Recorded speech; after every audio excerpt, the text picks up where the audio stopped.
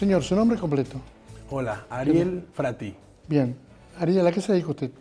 Bueno, soy estudiante de psicología, ¿sí?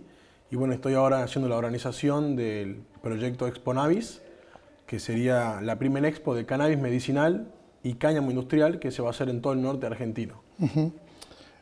Ahora, ¿el cannabis se usa realmente medicinal o, o no se está usando?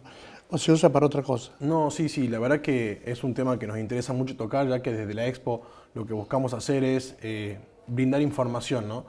Eh, el cannabis hoy en día tiene muchos usos medicinales e inclusive también industriales y es lo que buscamos un poco hacer con esta expo, que es brindar información a la gente para que bueno, toda, la, toda la comunidad tenga una información más precisa sobre lo que es esta planta, ¿no? que por ahí tiene muchos estigmas, pero en realidad tiene más usos medicinales y para el positivo, podríamos decir, para la sociedad, de lo que realmente creo que se conocen y se cree. Bueno, pero no la estima. Usted sabe que es marihuana el cannabis. Claro, exactamente, es lo mismo. Bueno, pues claro, pero... Es el nombre más por ahí informal. Claro, pero usted cuando dice marihuana, bueno, todo el mundo se pone a la defensiva.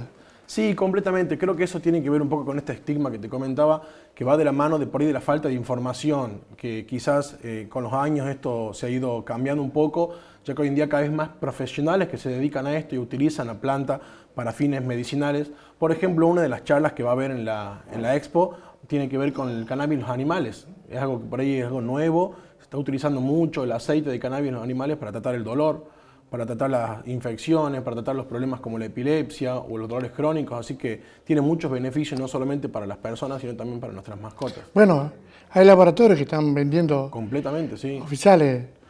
Para, para los golpes, para todo eso también. Exactamente. Hay laboratorios que están haciendo eh, todo lo que sería aceites para patologías particulares y a su vez también para, para, cremas, ¿no? Cremas para el dolor, así que hay muchos avances que tienen que ver de la mano del cannabis. ¿Cuándo es esto y dónde es esto?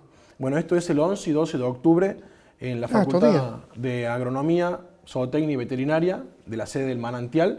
Son dos días seguidos y la expo va a consistir en cuatro espacios que van a funcionar de manera simultánea, donde va a haber un espacio educativo, uno más bien feriante, un espacio de distensión y uno de networking para que puedan compartir entre ellos.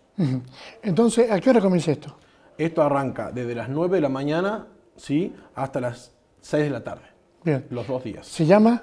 Exponavis. Exponavis. Exactamente, Exponavis, la primera expo de cannabis del norte argentino. ¿Su nombre completo? Ariel Frati. Soy estudiante de medicina, de perdón, de psicología. De psicología, sí. ¿Te falta mucho? Estamos en el último año. Suerte. Bueno, muchísimas gracias. ¿eh? Bueno, vamos, señora Mariana, por favor.